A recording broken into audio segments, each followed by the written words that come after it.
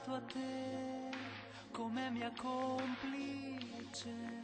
capace di capire ogni mia gioia o pianto,